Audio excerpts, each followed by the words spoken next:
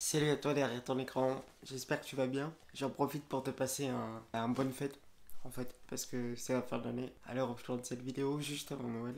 Voilà, donc euh, je tourne cette vidéo vite fait. Parce que vous aviez été nombreux sur Twitter et sur Facebook à me poser la question.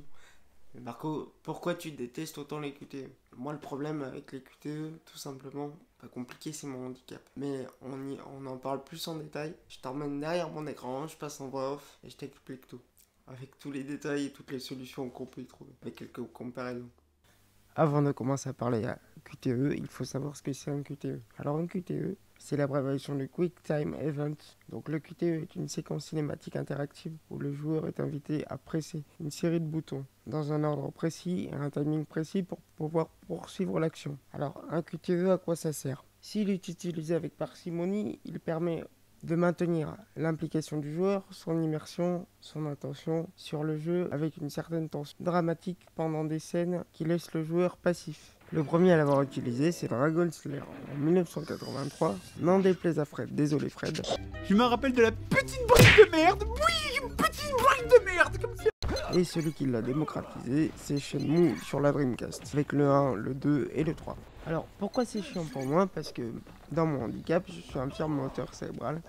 J'ai des problèmes de geste, de précision et de timing. Ce qui peut être embêtant par la définition du QTE pour pouvoir gérer le timing et les enchaînements de touches. Donc ça peut être gênant parce que moi j'ai un décalage plus important au niveau du cerveau quand il s'agit de, de générer une action par geste. On va parler plus de mon handicap pour vous expliquer.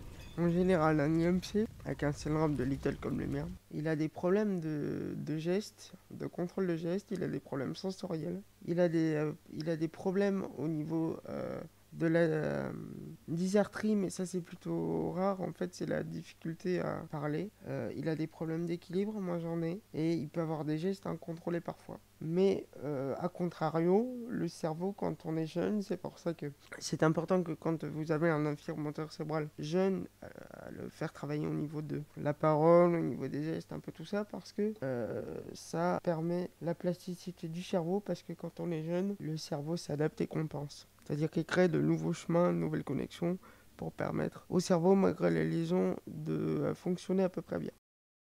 Vous allez me dire, mais Marco, qu'est-ce qu'on peut faire face à ces difficultés-là quand on a des problèmes au niveau des QTE Ben, il n'y a pas 36 solutions. Donc, soit on permet de moduler la façon de jouer pour chaque joueur, soit la possibilité de moduler devient une norme dans le jeu vidéo au niveau software, soit il faut s'exercer tous les jours et ça marche pas toujours sur certains jeux. On a des manettes de type euh, XAC. Alors le XAC c'est le Xbox Adaptative Controller. On a les manettes d'Andy-Game et on a le Oriflex. Donc on peut adapter soit au niveau software, soit au niveau hardware. Petite conclusion intéressante. Faut-il adapter Detroit ou Heavy Malheureusement j'ai pas la réponse parce que je n'ai pas eu de réponse de Monsieur David Cage. Euh, S'il vous plaît, si vous voyez cette vidéo, n'hésitez pas à me répondre parce que ça serait intéressant de savoir s'il y a un mode d'accessibilité. Alors, sachant que c'est des jeux qui sont basés sur les QTE, est-ce qu'il faut les adapter? Je pense. Parce qu'il existe des jeux adaptés du type Metro Exodus, du type The Last of Us, qui me permettent de jouer, permettent à tout le monde de jouer, sans enlever une once d'immersion. Et si vous, monsieur David Cage, vous ne faites pas l'effort d'adapter votre jeu au niveau des QTE, personne ne le fera. Mais est-ce que certains joueurs seront réfractaires à l'immersion que ça propose? Peut-être. Mais ceux qui veulent rentrer dans ces univers, il faut leur en donner la possibilité. Et euh, surtout si t'es nouveau sur cette chaîne, n'hésite pas à t'abonner parce que ici on parle de tech, on parle de handicap, on parle de JV. Donc si ça t'intéresse, n'hésite pas à penser à t'abonner. Ça me ferait plaisir et puis euh, si vous avez quelques idées en commentaire à me suggérer, je suis toujours preneur. Ensuite, si tu veux vraiment aider la chaîne efficacement, tu as mes liens en description, mon lien Amazon général t'emmène sur une page Amazon qui est la mienne. Donc tous les achats que tu fais reviennent sur mon compte Amazon, ce qui me permet à moi de financer la chaîne à travers du matos ou des jeux à tester. Peace.